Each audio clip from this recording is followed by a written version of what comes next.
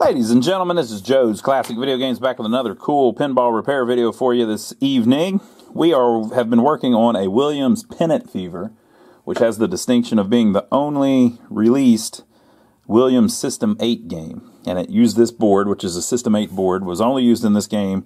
Uh, there's also a prototype game that it was used in, but pretty much this is it uh, that you can actually get your hands on. And they were actually pretty common. They sold a ton of Pennant Fevers. Uh, we ended up with two of them, and we've been fixing them all this week. So where have you been? If you're just now turning in, tuning in, where have you been? So go back and watch the first videos if you can. We did one where we took them all apart and showed everything inside of them. Then we did another one where we fixed the power supply and the board on one of them. And then we did another one where we fixed the, we fixed the power supply on the second one. But we were able, unable to get the board completely working because it has major corrosion damage to it from the batteries.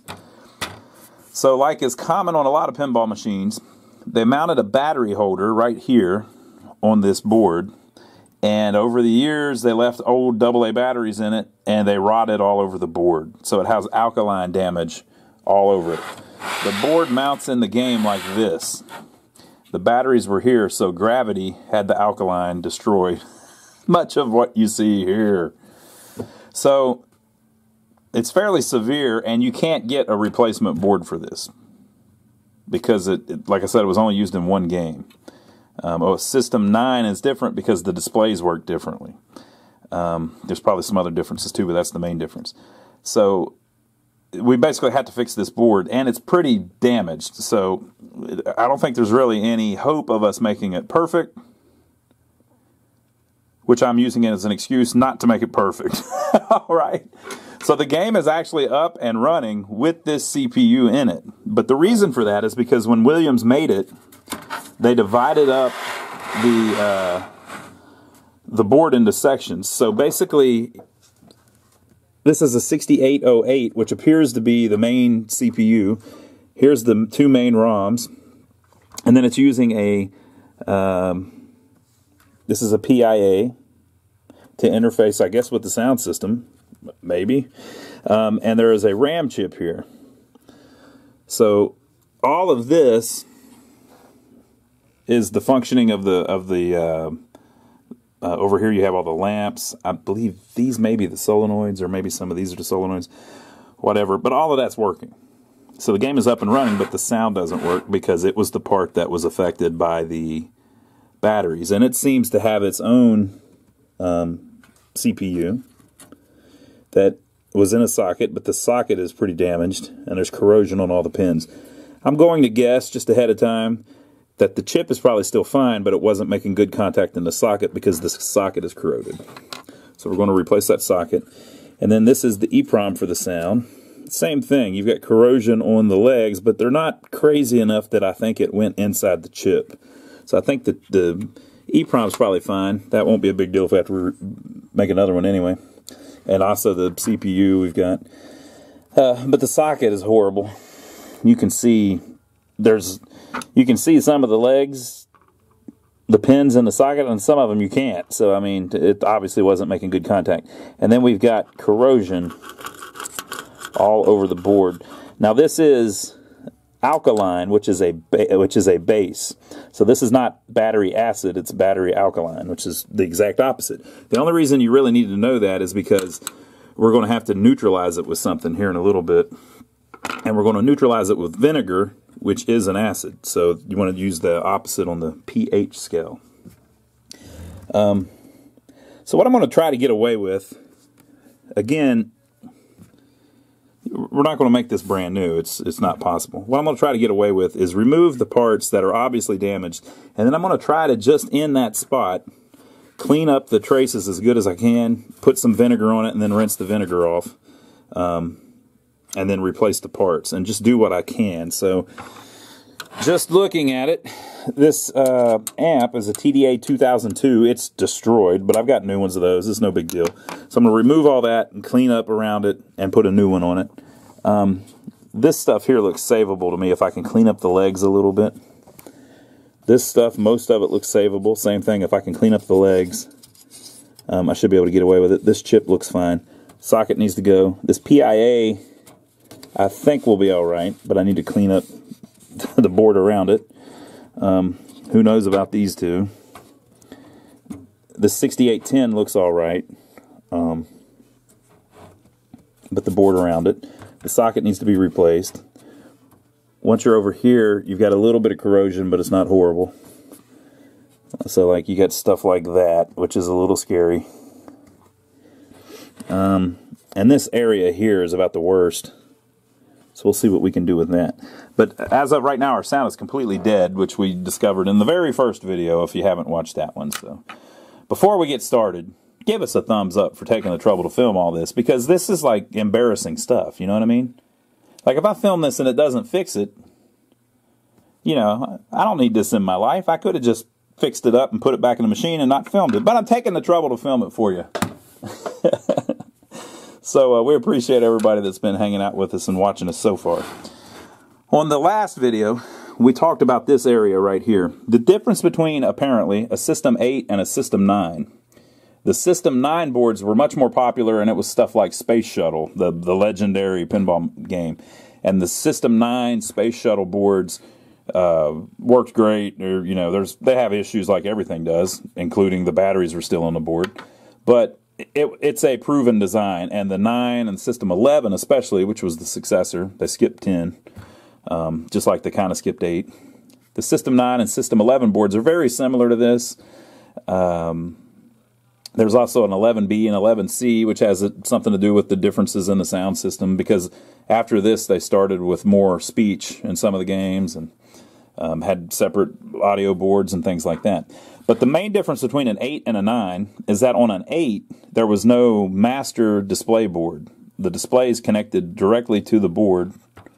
This game only had two, but uh, it could have it could have handled five. They had provisions for five displays, just like a regular pinball machine, and apparently intended to make all of their new games use this board.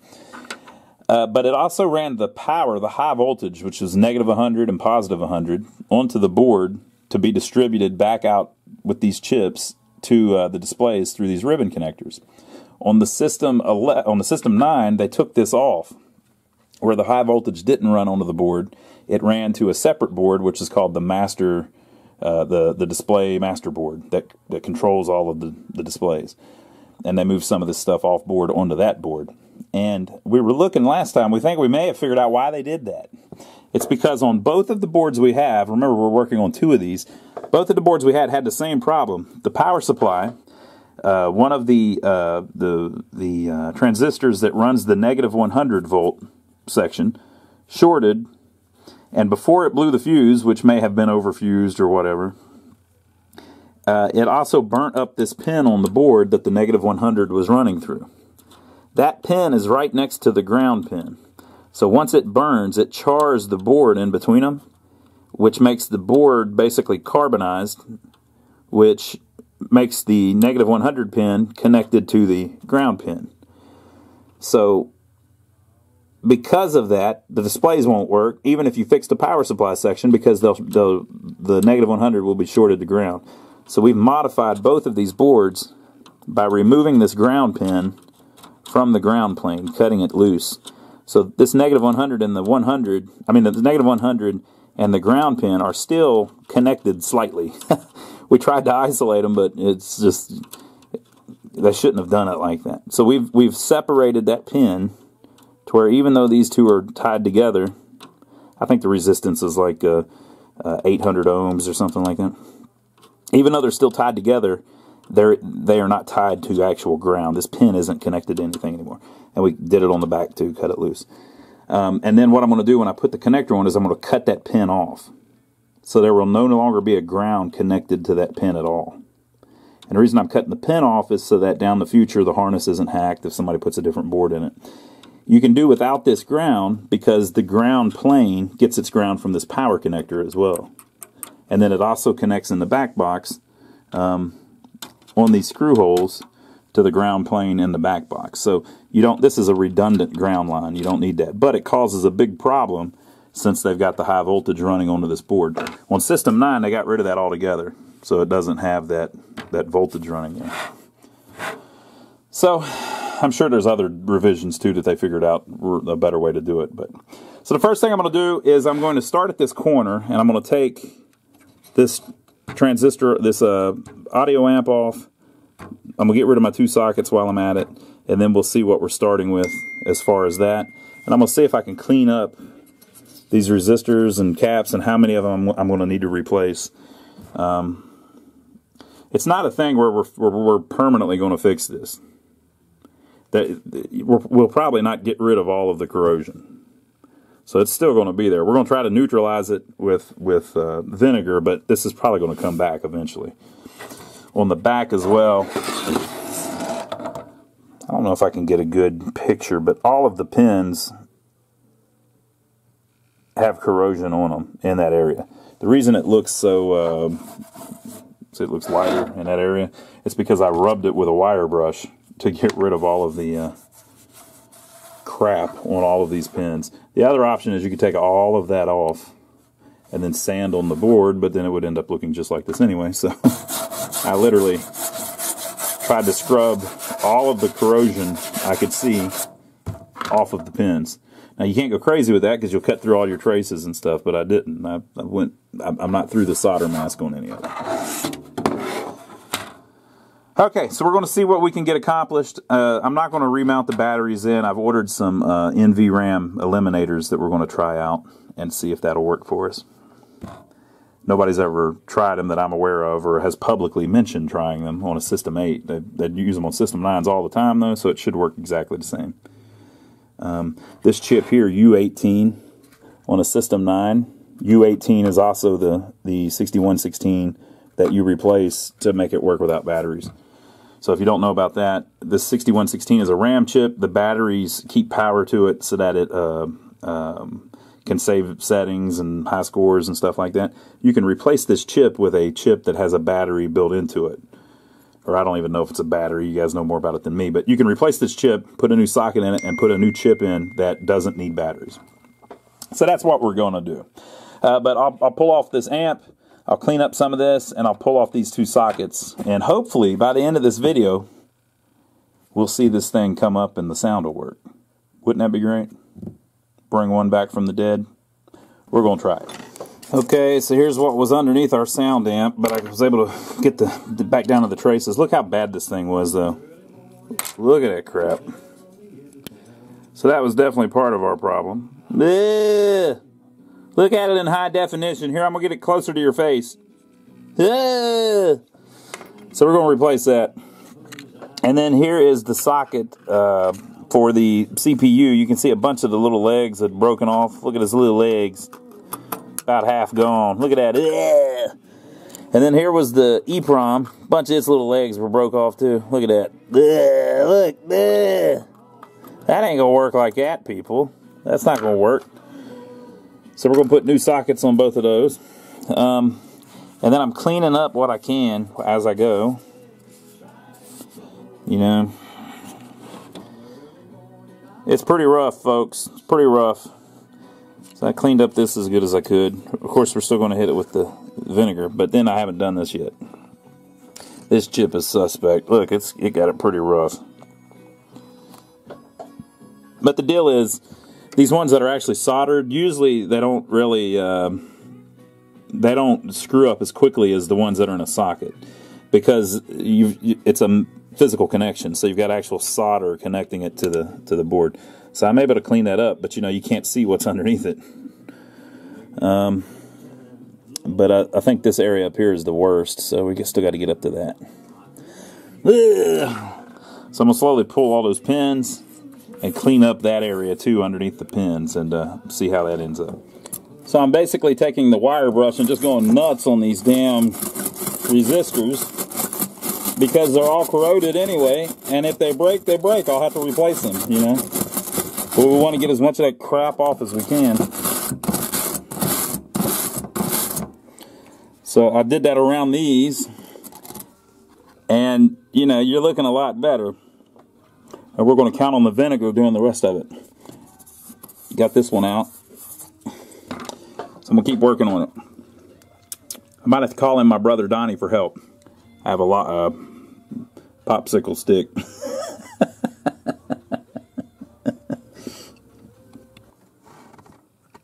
And some of the little pins from the uh, from the socket or one of the sockets. Okay, so I think I got it about as good as I can get it. So these the legs cleaned up pretty good. Clean that up. Clean these up. Again, there may be something under the chips though, so if you had unlimited time, you might want to remove everything off the board.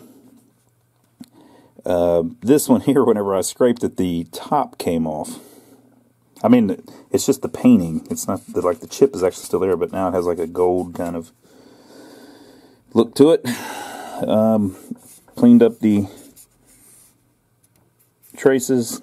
Everything looks cool. Cleaned up both sides of this chip, both sides of this chip, both sides of this chip, both sides of this chip, or all sides of this chip. And then you saw on uh, this socket, same thing. Cleaned out all the pins, got it nice and clean. Cleaned all sides of this chip. And again, I'm doing this literally with a wire brush. You saw me getting on this, and I was trying to say, if you break stuff off, well, it was weak. it was weak. It has to go. If you break stuff off, it was probably going to break anyway from the corrosion. So I broke off a few things. We're going to replace them. Um, so Q1, Q2, and Q3 broke off. Q5 broke off, and R12 broke off. Uh, also, I took C9 off because it seems like whenever this stuff starts creeping, I don't know. It's it's probably just my head, but it seems like it affects the capacitors more than it affects resistors and diodes. So, all right. So I'm gonna I'm gonna look on the schematics, and we're gonna well, the first I'm gonna clean it. So uh, I'm gonna do the vinegar thing. So I'm gonna take a toothbrush and some vinegar, and I'm gonna brush it on everything that's affected. And so it's an acid with a base, it's supposed to neutralize it. Now, I've had people say, oh, don't do that, it goes too far the other way. But look, I didn't invent this. This is I'm doing basically what uh, people have done for years on pinball machines. So it works good for me.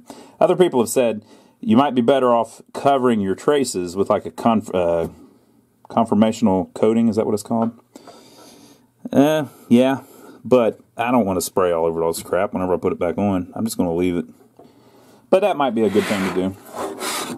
One of y'all try it and tell me.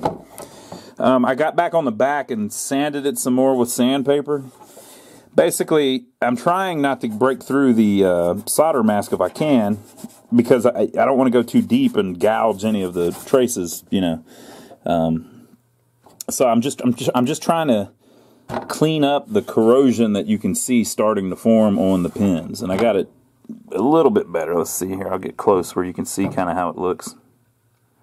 There you go. So that's kind of what we're working with. But see these black spots on these lines, on the traces? You know what that probably is?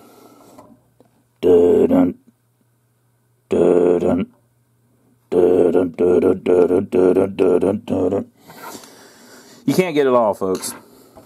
If if you need it to be perfect, this ain't the one. But our our back looks pretty good. Here's the places that uh, a few of the components came off. So that's where it was starting with. So I'm gonna get the vinegar and give it a little bath. Okay, got the vinegar on it. Vinegar. I know that's vinegar vinegar because it told me so. And I use a old toothbrush. Don't use your toothbrush. Use one of the old ones, people. Or use somebody you don't like. And I brushed it all over everything that had corrosion on it with the hopes that it's going to nullify it. And then I got to do the back too. The back is really easy. It's pretty much flat. And then I'm going to rinse that off with water. Then I'm going to let it sit for a little bit. And then I'm going to pour a little bit of rubbing alcohol on it. Because the rubbing alcohol absorbs water and it evaporates. So it helps the water dry quicker. You don't really have to do that. You can just leave it sitting overnight and it'll dry too. Some people put them in their dishwasher. You can do that too if you want. I don't have a dishwasher here though. But uh, hopefully the uh, vinegar helps with something. then we got to start putting everything back on it. Okay, folks, so it's still drying. One thing about it, if you put alcohol on it, it will lighten up the uh, the alcohol will lighten up the um, uh, PCB material. So this area will be a lighter white whenever we're all done, like this is, and it kind of helps you see what's dried. Um, so it's still wet, but it's drying. And the, really, the only reason you need that is because if you get water under this chip, if you let it dry for a day, it'll all dry out. But I'm trying to get it done tonight so I can do it on this video, right? So you put alcohol on it, it will start drying up the uh, the water, and uh, whenever the alcohol evaporates, it takes the water with it. Okay, so another issue is when you when you uh, when you get these down to bare copper like this, and then you put uh, water and alcohol and vinegar and water and alcohol and everything else on it, they don't really solder doesn't stick to them very well. So you kind of have to clean them up again with some sandpaper right before you solder the the pins in. It makes it a little easier. So, excuse me. Woo. So if you're going to do this, by the way, I'm not sick. I was just telling a guy one of the worst things about this uh, uh, virus that we're having. I don't want to say the word because then they'll ban me. Right? This thing that we're having is that whenever you have to cough, people think that you're like infected. I'm not. All right, so uh, so yeah, before we put in the sockets, we're going to clean those back off to get them nice and shiny again. You don't want to go crazy. You're not trying to scrape off all of the traces, but you, you want them to be shiny. Um, but we're back over here with the stuff that popped off. Q1, 2, 3, and 5, and R12. Oh, and C9. I looked these three up. These are not even listed on the schematics. So, they were not populated. So on the schematics, they have a nice little drawing here. These were inside the game. You can download these off the internet. They're out there, folks. Uh, so there it is, Q1, 2, 3, 5, R12, and C9. You can see up here the two jumpers, but the other three things aren't even mentioned. They're not very important to them. And so you can kind of figure out what those were. There's a bill of materials here that shows you everything on it. And then also this area is the reset section. Which is this area right here. So Q1 is a 2N4401, as is Q2, as is Q3, as is Q5. So they're all the same little transistor. And uh, R12 is a 47 ohm quarter watt trans, uh, resistor. And C9 is a 22 microfarad 10 volt capacitor. So uh, I've got all those, and that should be simple. So I'm going to hit it with a little sandpaper, just not going crazy, just a little bit to get it nice and shiny again, to get whatever crap I just poured all over it off of it. And then uh, same on the back, and then go ahead and remount those four transistors, that resistor, and that capacitor. And that, that will get me back where the only thing left is these three items. Okay, so it's important if you're working on stuff like this that's, that's been damaged. It's it's kind of important that you check to make sure that the solder goes through the via, the via, the via, whatever. This little trace here, this hole goes from the top to the bottom, and as you can see right here under the silkscreen, there is a line that runs up here to the top.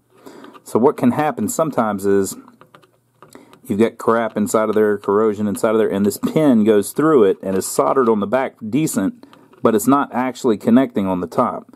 So see how you can see a little bit of solder in the hole? Over here you can even see a little bit more.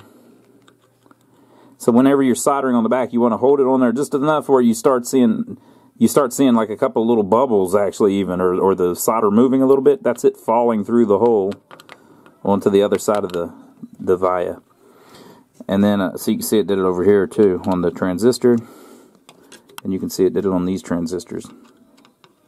So you got a nice solid connection.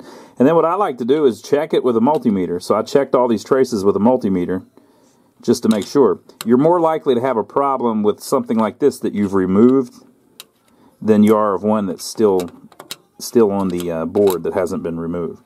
Because it's soldered underneath that you know what was corrosion and is hopefully now nullified. But uh, uh, whenever you whenever once you make that hole where you take the piece out uh, you could have some issues with connections. So but I think it's looking pretty good. So now I'm going to again lightly sand these just to get them a little shiny again right on the pad and then I'm going to put new sockets in um, so that we can get our, our CPU and our, our EEPROM back in. So we got our two sockets back on. That all went real clean. It's all good. Cleaned up the two chips and put them back in their sockets. It's easy to tell on this one what was worked on, right? the contrast is amazing. All right, so now we got the sound amp and the connector for the um, for the displays still. So let's see what we can do with that. Here's the sound amp.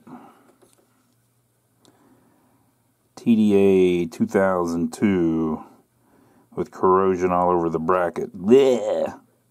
Bleh. Bleh. Look at that. Bleh. It almost looks like rust. Maybe it got wet. I don't know if I've got a different screw. Hmm. Maybe I'll look for a different screw.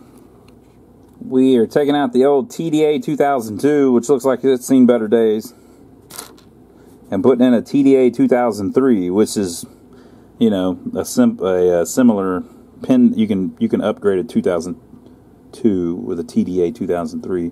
The pin configuration is the same, and it's supposed to be a little bit more efficient. But they're the these are like the cheapest little amps you can get. This thing's like 30 cents or something like that. And it's what was on the board basically. So I've mounted the thing back on. By the way, these are really hard hard to solder in because it's a heat sink, so you can't heat it up to uh, with your iron to get it to the solder to stick to it. But you can just fill the holes up with solder, which holds it in place, and you bend the little brackets back. So we got it on there. All right, so I'm gonna pop that in and put a new screw in. I broke the old one, taking the other one off. But I have this real pretty one. Look, it's gonna be uh, it's gonna be yellow now. All right, folks, the screw wouldn't fit, so I just put a regular one on there that I had. I forgot I, I these are the ones out of uh, uh, the light guns on Area 51 and stuff. I forgot I've got like a thousand of those, and they're all perfect. Uh, so I put that on. I put a little bit of thermal grease on it, and uh, I put the connector on up here, and I cut that pin off that I was talking about, the ground one, because that way, if it does short again, the, the wire won't even be connected, even though I've cut it loose from the trace. So we should be good. Um, but it, you know, there could be other things wrong with it. But to the best of my ability, this is the best I can clean up the the corrosion from the alkaline. So hopefully this board will cooperate. Now remember it was already up and running before, it just the, the sound didn't work. Because of all this mess. But I honestly think we've got it cleaned up pretty good. I mean it's it's actually better than I thought it was going to be. So hopefully it'll work. If it doesn't, we'll have to try to troubleshoot it. Um, I've got the schematics. But hopefully it will cooperate. Doesn't it want to work? You know? I'm trying to help it out here. Nobody else takes the time to do all this, I don't think. I don't think so. Few people, but not many not many people. No one around here. So we're gonna pop this back in the game and see if she works. I can't think of anything else to do to it. Now, when the NVRAM comes in, I had to order some. We're going to replace this with it, but we'll do that on a later video. Hopefully, this will come up and work, though, whenever we pop it in. Um, I mentioned on the other board these resistors up here that look like crap, but they just run the lights, and if you if you uh, measure them. I think most of them are 27 ohms. Some of them I think are almost like a direct short. They're like uh, less than one ohm. But it's all in the schematics. But this is very common on Williams machines. They just the way their uh, their light strobes, it it just burns up those resistors. They still work. Everything's fine. That's why they have big old resistors in there because they put off a lot of heat. There's upgrades you can do where you can put uh, uh, different transistors in that make it where you can even get rid of the resistors, but it's not that big of a deal, I don't think. Whenever these were first out, they were on location. They were played 24 hours a day, seven days a week for 10, 12 years, and they end up looking like that. If I put this in somebody's house and they play it two hours, two hours every couple weeks, it's not an issue, you know. But hopefully the sound will cooperate. Let's go pop it in the machine and see. Keep your fingers crossed. I might have, when I did the reset section, I might have screwed up the rest of it. Keep your fingers crossed. Okay, folks, so we've stuck it back in. You're watching for this top fuse here. See if it blows. I've got the displays and everything plugged in. We're going to just see. Now, our problem was tons of corrosion on the board. Sound section did not work. The displays didn't work. Okay, so let's see if we've still got something like that going on. It did not blow the fuse. We've got a zero on the, the little thing, which is good. We've got something on the display.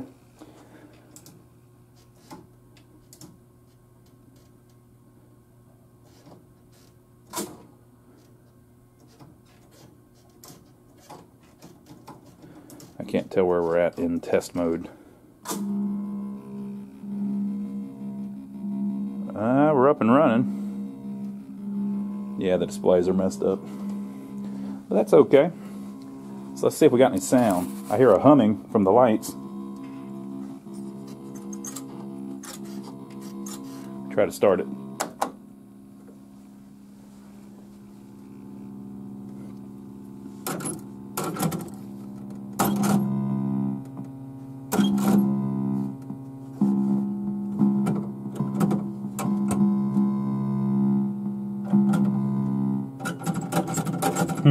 Can't tell if the sound's working at all. It's making some humming noises, but uh, that could just be from the lights, actually. When the lights light up, it hums. Hmm. Well, hell. We're getting there, though. we, we, we fixed the corrosion, and we fixed the power problem on the displays, apparently, whenever we did the... Uh, We did the power supply, but they look like crap. Hmm. Let me see if I can get in the test. Yeah, there we go. So it's trying to do the test right now. Four, five, six, seven, eight, nine, zero. Usually whenever you've got segments like that missing, you've got, there's something going on on the board. I'll bet a bunch of those chips are screwed up on the board. And the top one's not working. Um, I'm going to swap the two ribbon cables on the on the displays and see if that makes the top one light up. If it does, then it's definitely on the board. All right, so I reversed the ribbon cable, and uh, yeah, so the top display is working the same way the bottom one is, which means it's the board. Okay, so we got display problems on the board, and the sound is still not working. So uh, I think we'll ignore the display problems for now and we'll see if we can concentrate on trying to get the sound to make a peep and do anything because um, that would be cool. So I think what I'll do for now is I'll unplug the two ribbons going to the displays just so that it doesn't screw up. And then uh, we'll eventually have to take the, the board back out to fix the sound anyway but I'll, uh, I'll see if I can hook up a uh, maybe hook up a logic probe and we can test it in the cabinet maybe possibly. What do you think about that Okay, we'll end up looking at the schematics here in a minute, but the first thing I tried was I've swapped out the 6808 that's in it for a 6802, which is similar. A 6802 has RAM built into it, though. It's an older chip. So basically, by doing that, uh, you're putting two RAM chips running at the same time, which isn't really the best thing to do, but sometimes on pinball machines you can do that to test it. Um, So I'm hitting a single, and if you listen, the boom is the lights moving. It's the hum and the lights, but if you listen, there's a little whistle that goes. Tss, tss, tss. So it's trying to make some kind of signal that's just not getting processed right. So, but I, I believe it's working the same with that uh, with that CPU chip in there. So I'm going to next pull out the ROM and we're going to test it in the EEPROM burner to make sure that the ROM is good. Okay, folks, these are our schematics. We are testing the ROM. It is, in fact, a 27128 that's in the game. So we got our little ROM tester out. ROM burner TL866II Plus. These things work really good, actually. They're cheap, too. About the cheapest thing you can get. Okay, so I have downloaded the ROMs off of the Internet Pinball Database. They have all of the PinMAME ROMs, which the whole purpose of MAME and PinMAME is that it's an exact copy of the original, so the ROM files are the exact same ones in the game. So I've set it up, and it passes. So the file on the chip is correct. Successful. So the ROM chip's good. Now it could be that I screwed up the socket whenever I put a new socket on the CPU or on the ROM chip. So that'll be the next thing that we check probably. Um, so I'm probably going to have to pull the board back out and just double check all of those to make sure I didn't miss a trace. Make sure all the traces are connected where they're supposed to be, which you can do by literally tracking them down on the schematics. Um, so here's our uh, our CPU. I can check all of these lines and make sure they go where they're supposed to go. Takes a while, but it can be done. And then the same with the EEPROM. Check them all, make sure they're connected where they're supposed to connect. So that's probably my next case because you know it, it's more likely to be something that I actually worked on. I pulled the, the uh, those screwed up sockets out. I, I may have messed up a pin, and just one pin being off can make it do that. So um, that'll be uh, that'll probably be next. I'm gonna look online too and see if anybody's discussed how they fixed the sound on a System 9 because it's pretty much the same and make sure that there's not something obvious like it's the DAC or something like that. So um, I'll come back when I find something. So I started looking again. There is a wire that has came loose from the connector on the power supply. That wire is gray and yellow. What do you think about that? I'm going to look in the schematics. Now in Pennant Fever, since it's so rare, uh, there isn't really a good wiring diagram that came with it. It's just the schematics for the board. And so it doesn't show all the wires off of the power supply. But the very next game was Space Shuttle. And Space Shuttle is very popular, so there's tons of schematics for it. So these are the Space Shuttle schematics that use the same power supply. And this is that connector on the power supply. Gray and yellow connects to pin 2. So it's disconnected if you follow it down.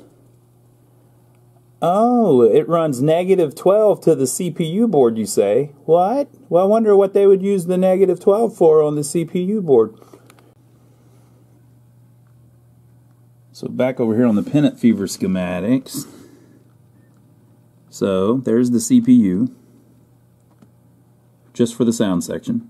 And the button at switch 3 is a diagnostic switch, so I guess if you hit that, it plays like all the sounds. And then this is the RAM, 6810. And this is the ROM that we checked. It was fine. And then you have a LS138 over here that does something or the other, who knows. And then you have the peripheral interface adapter, a 6821. Right?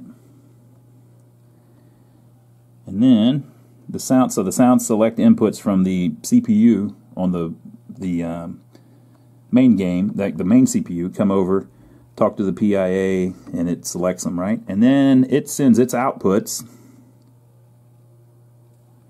to this chip which goes through this transistor through the volume control and is amplified right? So here's the speakers here's the amp that we replaced it runs off of 12 volts but this chip runs off of what? Oh, it needs a negative 12 volts. It's not even hooked up right now. Ah. Boy, that'd be cool if that fixed it, wouldn't it? Look, it needs it right here, too.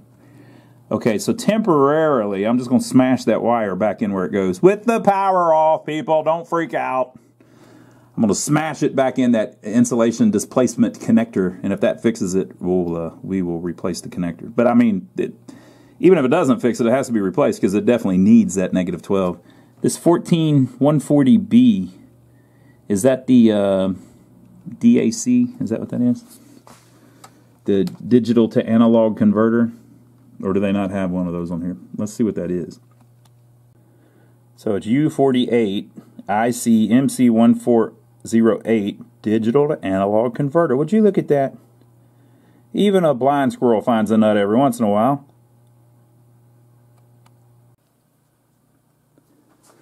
Okay, so I have jammed the wire down in the pin that it's supposed to be in. Let's see if we get anything different. Oh, and on these, so it's coming up in test mode because the batteries are dead because I have them removed because we're putting the NVRAM thing on it, but we haven't got it yet. Uh, so when it comes up, it's in test mode. On a Williams game, and only a Williams game, if you turn it off and right back on real quick, which usually I tell people do not do, if you turn it off and right back on, the little jump of power makes it start in, in game mode. So we're going to test it out. So test mode,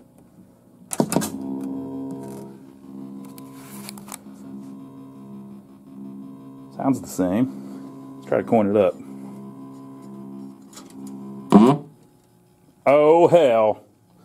I don't know if that sounded right, though. This might be really loud because I turned it up earlier.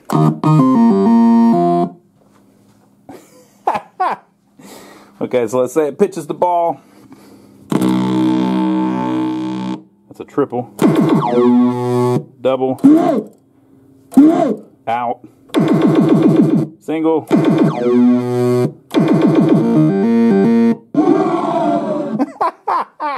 we fixed the sound section, folks. What do you think about that? It might have been fine the whole time, though.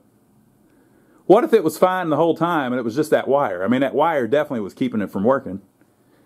It could have been I could have left that rotted, corroded ass board in there for another 10 years. What do you think? But hey, at least we got it cleaned up, I believe. I think we got it cleaned up really nice. You saw it. You saw the video. You're watching it right now. okay, so we got the sound, but we do not have the displays. So we'll do that next time. This is going to be a long series. I can see that coming. You see how stuff just like bites at you constantly? Now, if this was in your home game room, you might just leave that wire stuck in that in that socket, but I can't do that. I'm selling it, you know, so I can't sell it to somebody with, with a wire that might pop out at any time. So I got to fix that too. So there's all kinds of little things you have to mess with, and we haven't even played it yet. We haven't even tested anything. We haven't even rebuilt the bats yet. Um, we haven't done anything. We Haven't fixed the light bulbs yet. The displays aren't even working yet. You know, so it just takes a long time to do it. And these are not um, these are not super valuable games, anyways. So. But uh, what I'll do is I'll uh, I'll film a video of it uh, of us fixing the uh, displays next and see what we can get done on that, and then we'll try to get that connector done and wrap all that stuff up. And we could also do this still needs some connectors. So we're moving slowly through it, people. Hope you've enjoyed it so far. Give us a thumbs up for taking the trouble to film it for you, and leave your comments down below. Uh, we appreciate everybody that's been using our Amazon links. That's really been picking up lately too. So whoever it is out there using them so much Thank you very much. And I'd also like to say to whoever it is out there that's, I've seen somebody's been buying like uh, knee braces and some therapeutic stuff for their knee. So whoever's having knee problems out there, man, I hope you feel better soon. I know uh, Joe has had knee problems. He had knee surgery done a couple times. I know that uh, that's a big pain and it really cuts down your mobility. So Hope whoever that is gets better soon, but we see all of you out there using our Amazon link. We appreciate that. If you don't know about that, if you're going to buy something on Amazon, just click our link before you do, and it gives us a little royalty. So we appreciate everyone that's been doing that. Leave your comments below. And by the way, have you checked out our brother channel, My Brother Donnie? My Brother Donnie is even crazier than we are. So go check that out if you get time. We've got the link down below. I'm over there with them a lot of times. We're working on an old jailhouse right now where we're... Uh, putting a new roof on it and everything else. That's, whew, Lord, it's a big mess. But we're getting there. So uh, uh, we've been doing that. We've been working on. Uh, we we fixed up a mobile home that was completely destroyed. We've been working on some cars and some trucks. And Donnie's always uh, doing stuff on the farm and all of that. So he's a he's a hoot. Check that out if you get time. And I uh, hope you enjoyed it. We'll see you on the next video where we'll finally get those displays working. But aren't we getting there though? We're kind of they're kind of coming back slowly. They're starting to cooperate a little bit. Hopefully they'll continue to. We'll see you on the next video.